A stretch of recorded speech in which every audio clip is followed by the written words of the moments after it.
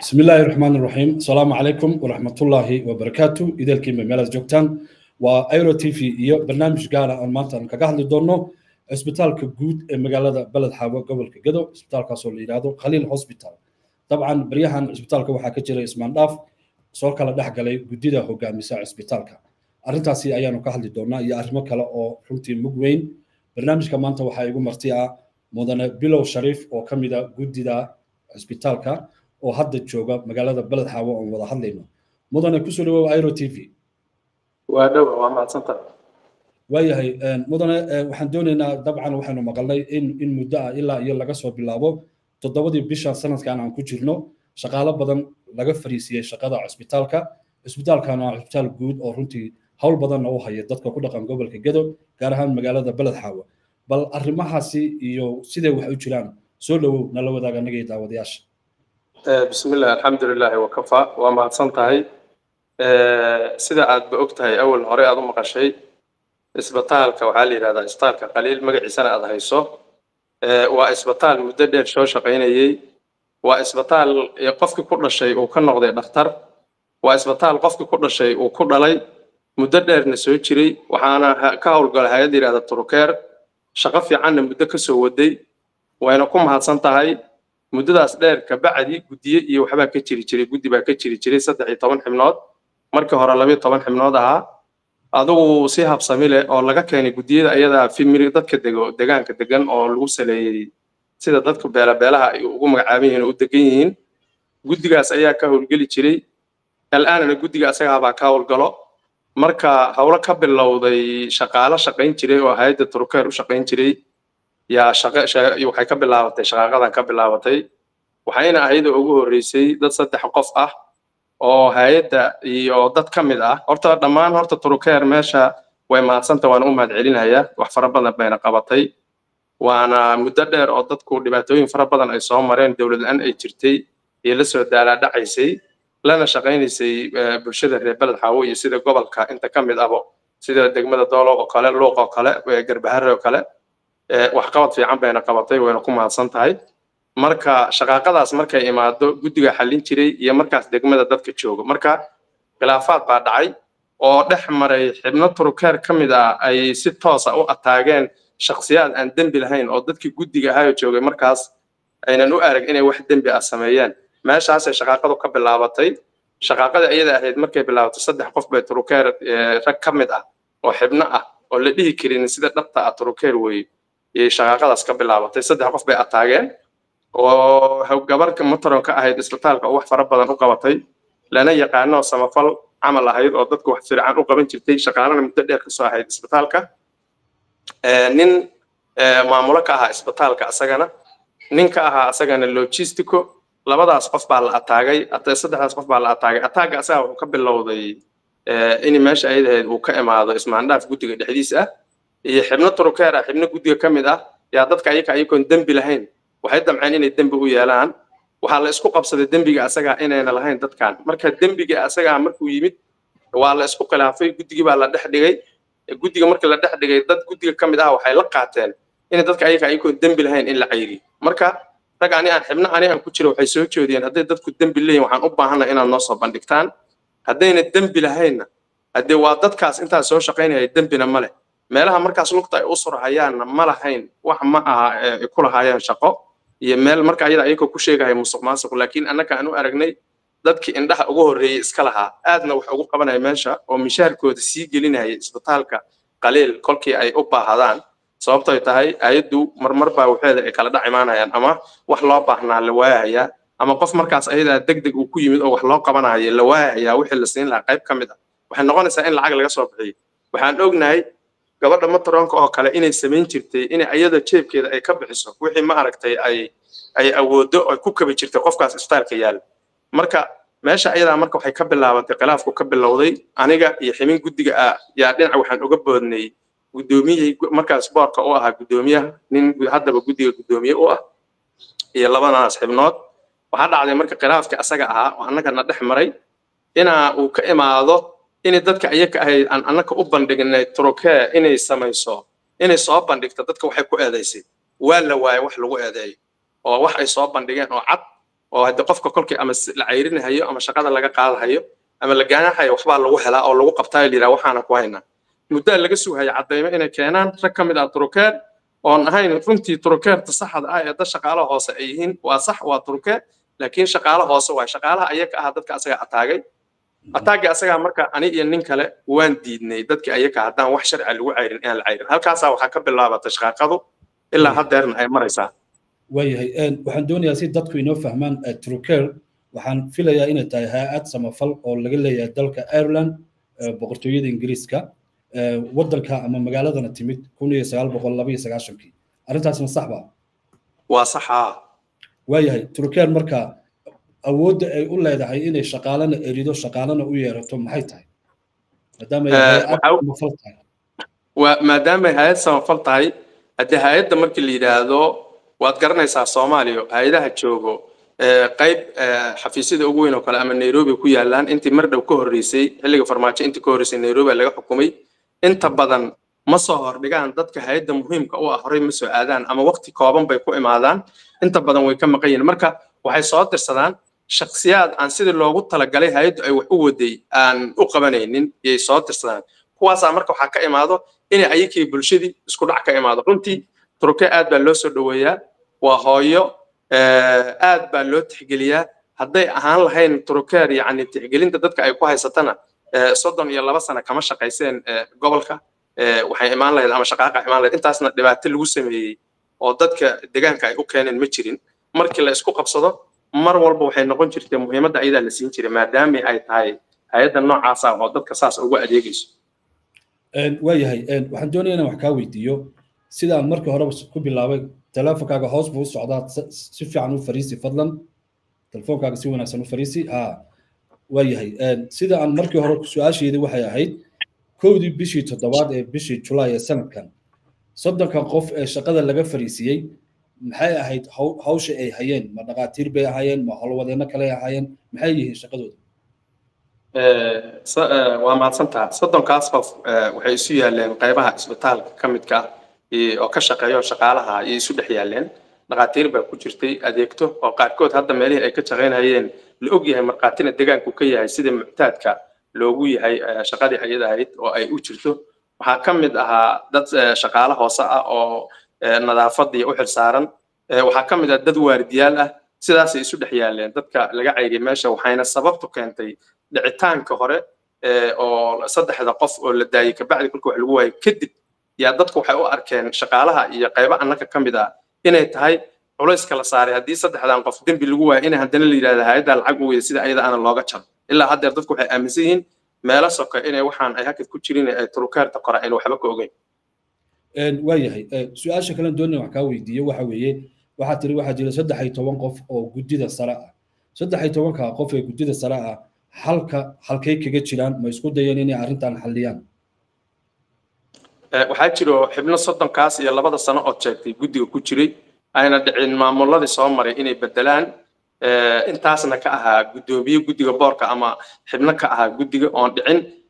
Waxaa xibnaha ayaka ah iyo xibno turukeer ah yaa isku isku isku maaragtay yaa isfahan ka dhexeeya. Marka wixii la cayrinahayo iyo wixii la waxaynahayo halkaasaa ka bilaabataa marka waan damacnay laakiin annaka naftaana qaarkana hor istaag ku sameeyay inaan dadkan ay ragga keenay inay cayriyaan rabaan inay la qaataan. Waayahay hadalkaaga waxaa ka mid ahaa in ay jiraan turukeer aad ammaantay oo aad bogaadin iyo ammaan aad kala duldhacday laakiin ay jiraan dad hoose oo hawsha wada. Marka bal inoo kala saar turukeerta saxda ah iyo dadka ismaandhaafka wada maxay kala yihiin waxay kala yihiin oo waa mahadsan tahay waxay kala yihiin hadde mar shaqo haddii la wado dadku dembi ma wada yeelanayo qaar unbaa yeelanaya marka waxaan jecelnahay dadkaas inaan saacadaha iyo xilliga loo baahdo magacyadooda inaan soo sheegno hadday ku sii wadaan dadka waxaa noola baahda in la sheego la soo gudbiye la sheegana. Waa sheegaynaa insha allah. Okay su'aasha kalen dooni wax kaa weydiiye waxaa weeye waxaa jira toddoba qof oo xirfadlayaal ah oo uu cisbitaalka lahaa. Sida aan maqlayna toddobada qofba iminka shaqadii ma hayaan oo in badanoo ka midana way ka tageen deegaanka. Maxay kala yihiin toddobadaa qof? Maxayse qabanayeen? Toddobadaas waa isbitaalka qaybihiisoo dhan bay ka shaqayn jireen. Muhiimadda waxaa waxaa ugu badnaa ninkii oo fadhiyey bukaan socodka dadku dad seexdo iyo iyo iyo iyo dad markay imaadaanbo inta xal loo helo markiiba daawo la siiyo noqdo bukaankaasoo kale maalinkii dad fara badan baa isbitaalka lagu qaabilaa ninkii u fadhin jiray waa la diray waxaa kaloo ka mid ah shaybaarka nin muddo ka soo shaqaynaya aqoonna u lahaa dheer oo u lahaa aqoon dheer inuu xirfadan u lahaa ahana runtii nin oo hataa ku soo kordhiyo bulshada dhexdeeda ku soo kordhiyo tababaro iyo shaqo iyo oo ninkii manzal magaalada balxaw hadda kolkii shaybaarka ugu haystay asagana sida ayadaa lagu cayri waxaan aaminsannahay wax ka yimid hay'adda sare inayna ahayn wax ma aragtay hoose iyo shaqooyinka la wado wanaagga loo wado dad ka soo horjooga inay ficiladaa samaynayaan. Waayahay laba qof baad sheegtay. Dadka kale xirfadlayaasha ee shaqada ka fadhiistay maxaa ka mid ah? Waa badan yihiin. Shaqaalaha qaybaha kala duwan waaye. Waa dad caafimaadka ka mid ah waaye. Waa dad jooga waaye haddaba oo shaqada ka tegay. Waayahay inta uusan khilaafkan dhicin adeega uu bixinayey cisbitaalka guud ee qaliil ee magaalada beled xaabo maxaad inoogu sheegi kartaa xageese looga iman jiray. Wallaahi adeeg badan buu bixinahaya isbitaalku. Isbitaalku waxaa u badan horta hooyada iyo dhallaanka wuxuu leeyahay m c h buu leeyahay qayb oo kale oon isbitaalka qaliil gudihiis ahayn laakiinse magaalada dhexdeeda ah oo quudin ah maaragtay ciyaalka nafaqadarrada ah iyo wax lagu siiyo. Waxaa kaloo jira isbitaalka weyn shaqooyinka inta adeeg loogu talagalay isbitaalku qabtaa inta u badan. Waxaa jiroo kale waxaa kaloo jiro waxyaalo kale oo sida oo washka kale waxyaalo outreachka bannaanka oo kale camal waxyaalo badan oo ay hay'addu qabataa jirto. Sidii haddii loo marmarka qaarkood markii waqtiyada adag ay jiraan oo kale camal in biyo dhaamin iyo wax noocaasa in la siiyo. Waxyaalahaasoo dhanna waxaa bixiyo kambaniyaal aan dhicin oon isleehay aniga shaksiyan inta maadaamaan muddo ku dhex jiray inay ku lug leeyihiin dad hay'adda meesha aan kaaga tilmaamahayo hay'adda xibno ka ah oo dadka ma aragtay hoose ka mid a ay la leeyihiin kambaniyaasha iyaka ah ay la leeyihiin ay shaqo la wada leeyihiin amaba la yidhaahda marmarka qaarkood iyakaaleba okay waxaan doonaynaa wax kaa weydiiyey sida ay warbaahintu ay sheegayso waxaa la leeyahay waxaa jiro dad ajaanib ah oo shaqooyinka sare ee cisbitaalka ku lug leh ama maamula. Maxaa ka jira arrintaasi arrintaas waa sax. Hadda ka hor mar aan shir ku wada galnay meesha la yidhaahdo doolow oo shir uu lahaa guddiga la isugu yimid waxaa yimid nin la yidhaahda bool oo hay'adda ragga u sarreeya ka mid ah oo nin caddaan ah. Ninka asaga ah su'aale hadda ka hor aniga aan weydiiyey bay ka mid ahayd waxyaalaha u dhici weyday dadka xaduuduhu ka imaada shaqooyinkan qabta inta badan ayadoo dadkii wax bartay oo jooga carradaana baagamuuddo ay yihiin. Marka waxaad moodaa waxaasoo dhan in looga shaqaynahayo si ayna isu arag shaqada iyo dadkii shaqooyinkan haqa u lahaa bannaankaa laga keenaa inta badan. Markii intixaamaadka la qaadahayo bannaanka markii su'aashaas waa inta u badan oo reegada ay isweydiiyaan mana ka dhacdo inta kale oo soomaaliya. Waana jirtaayo dad aanba soomaaliya u dhalaninba inay soomaaliya u dhasheen. Camal yaa ma aragtay yaa ku shaqeeyo yaa turke ugu shaqeeyo. Su'aalahaas marka markaan isweydiinay annaka kabacdi haddana hay'adda ragga u sarreeya waan weydiinay waxay nooga jawaabaan oo macnale way waaye waayahay in qof ajaniba oo gudaha soomaaliya ka shaqeeyo mararka qaar waa wax la arko. Laakiin halkan waxaa ku qoran madaxa qaybta howlgallada dadka soomaaliyeed ee hay'addaasi ku xirayo inuu yahay nin la yidhaahdo cabdi tari oo aanan u dhalan soomaali ahayn oo meel kale laga keenay.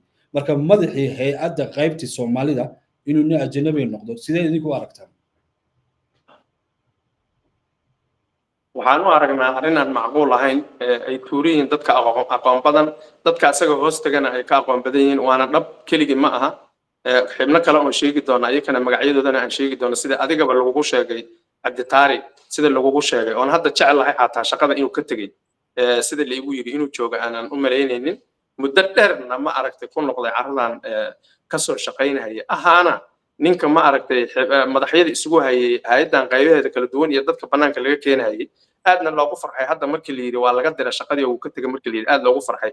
Arrintaas waa dhab wuu jiraa ninkaas laakiin wuxuuna ku keeni jira dadka qaraabo qaraabo asaga si oo la aha oo xataa ma aragtay bannaanka ka imaada. Ka imaadeena haddana aan ahayn soomaali aan ahayn. Bal haddana haysto sharciyo soomaaliya oo iska dhiga inay soomaali yihiin oo sheegto fimilaad soomaaliya dadka soomaalida oo gobolka dega waayahay nin ajaanib ah oo runtii shaqadii ugu sarreysay waddanka ama gobolka ama cisbitaalka haysta haddana in basaboor soomaaliya loo sameeyo arrintaasi arrimaha amniga iyo socdaalka ma kala hadashay?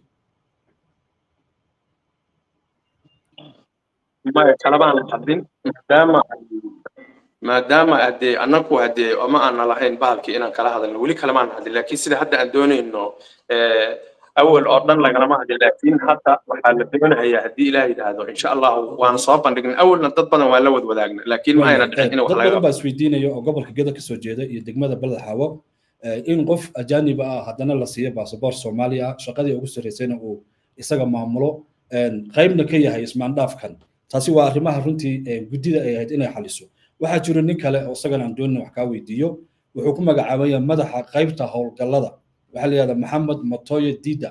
Ma jiraa ninkaa isaguna ninkaas waa jiraa maxamed matoya waa waa maskaxda ugu weyn oo u fadhida gobolka. Wuxuuna joogaa doolow inta badanna soomaaliya inteeda kale geda inteeda kale ma aad aado. Ninkaas wuxuu joogaa doolow ku sugan yahay. Waa run wuxuu ku magacaabaya madaxa qaybta howlgallada ee isbitaalka. Sidaasa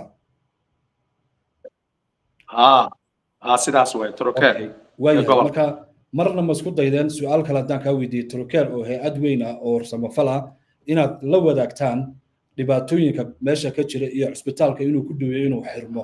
Arrimahaasi ma la wadaagteen? Waa la wadaagnay waxyaalo badan baa isdhaafsanay kama aanan helin jawaabihii aan oga baahnayn inaan helno ilaa hadda. Waayahay gebagabadii baynu ku jirnaa. Mudane waxaad ka mid tahay guddiga sare ee cisbitaalka sidaad sheegtayna howl baad wadeen beryahan maxaa idiin qabsoomay oo aad hadda ugu dambeyn aad doonaysaa inaad arrintan ku xallisaan howlaha kolkay sidaan oo kale noqdaan waxaa loo bandhigaa guddiga guddiga wuxuu la wadaagaa odayaal baa jiro oo guurti ah. Wuxuu la wadaagaa wuxuu la wadaagaa degmadoo kale camal guddoomiyaha iyo markaas maamulka markaas joogo waan isku daynaa welina waa ku tala jirnaa inay xal laga gaaro. Haddana waa lagu jiraa insha allah guddida waxaa jiro guddoomiyaha degmada beled xaawo maamulka gobolka gedo maamulka jubbaland arrimahaasi iyagu maxay kala socdaan? Wallaahi kolley haddii waad og tahay soomaaliya dowladnimo fara badan bay soo martay. Ninka hadda guddoomiyaha degmada ka ah guddigan aan anig ku jiro ku jiray oon hadda kuu sheegaya saddex iyo tobanka ah wuxuu ka soo maray guddoomiye ku-xigeen nin maanta wax loo sheegahaya ma aha. Kolley wixii uu kas isaga u gala ma ahane.